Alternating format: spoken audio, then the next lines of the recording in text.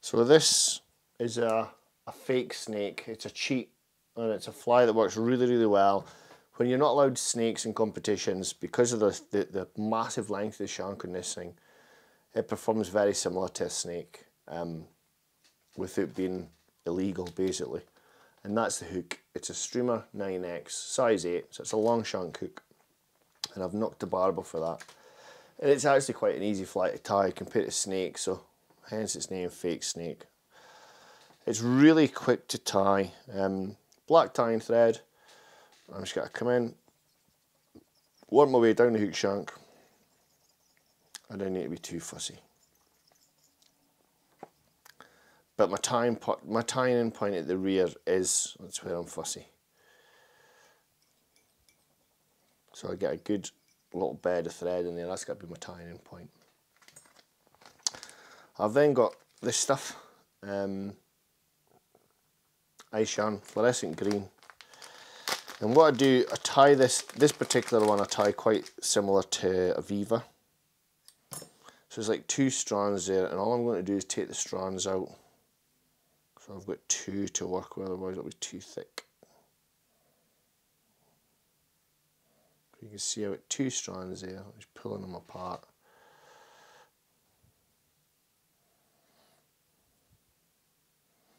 And I just get some of this thread back up here. Tie in. Work my way down. Keep it on top of the hook shank. So I've got a nice even body. And then again, my tying in point, get a few wraps on there. And I'm just going to take a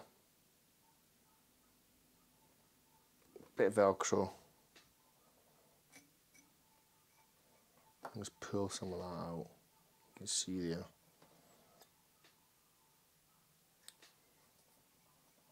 Like so.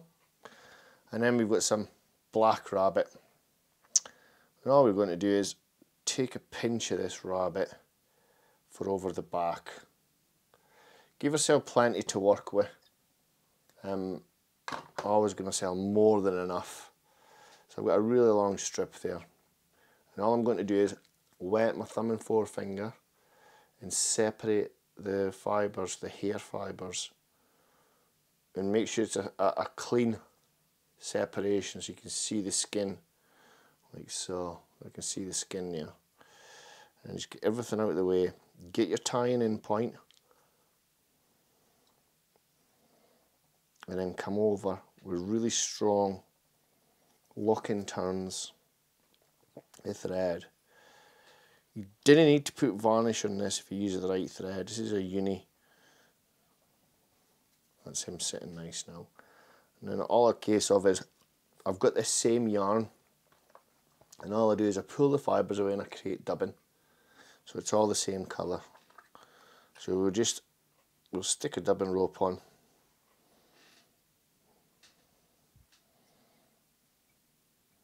You didn't need to be too fancy, so because of the nature of the fly, it's a big lure, it's a big mouthful.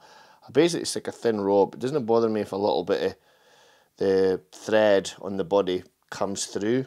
It's really not a big deal, but for the purpose of aesthetics on this fly, we'll do it nice and neat with nice touching turns. So get all your, your, your hair out the way and then just start working up. Doesn't need to be a thick body thick body, especially with this stuff, adds bulk. Um, and you want that sleek look of a snake, so as thin as you can, not not overly thick, just enough on that tying thread to cover the black thread underneath. Now I'm going to stop here because I want a bit of space at the head a little bit of space. I'll show you why because we've got to put another tag in. So the bit that we separated away, this is the other, the other length. I'm just going to tie that in on the underside of the hook shank.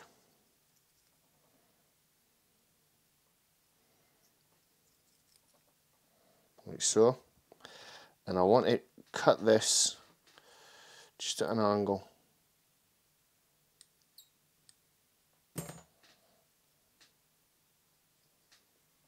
Bring your thread right up so you've got a nice even body and then just snip him away. So what I do here is I'll just I'll tidy the head up because we're going to bring the rabbit up and you want a good area for tying in because it's quite a, a thick bit of skin. So we've got to come up pulling the rabbit up. You can see it, it literally is a snake separate the hair again. What I do with these ones is I tend to leave a little bit of hair on at the head. I didn't actually separate it for the skin. So keeping it tight just lock the thread in. But it has to be tight. You can see it's tight all the way along the body there. That rabbit's tight to the back of the the um, the hook shank. There we are now we come in with scissors pull everything well back you can do this with a knife or scissors but just make sure that you cut it so that it's I'll just quickly show you so it's flush on the head You've got no lumps and bumps and then you can tidy it up with thread wraps. So now we're just going to tidy. Now bear in mind this is a bulky bit of skin so we'll have quite a big head on this. If it was a bit thinner rabbit skin obviously the head wouldn't have been as big but it's part of the fly at the end of the day. So just tidying up with thread wraps. creating the head. That's it. Anyway, your whip finishing tool, whip finish. And then, because the nature of the fly, big lure, it needs to be robust. I super glue uh, the head and then varnish. You can see there, it's um, spot on for a snake. So a little bit of super glue on the head. Again, what it'll do is it'll tidy up the head area as well. So a bit of super glue. And then once that's dry, obviously I'll come in with a bit of varnish. But that's your fake snake. A great fly um, that sort of gets around to the, the competition rules regarding the two hook shanks. Uh, and one that's worked for me and plenty of competitions where snake flies haven't been allowed. Um, this is a really, really good substitute. Basically a long Matuka, easy to tie, and I particularly like this black and green coloration. My other one would be all white, um, but I only fished two. Uh, is this black and green one in white, and these are the flies that I'd fish on. Both still waters, small and larger reservoirs. I really hope you enjoyed that little cheat, folks.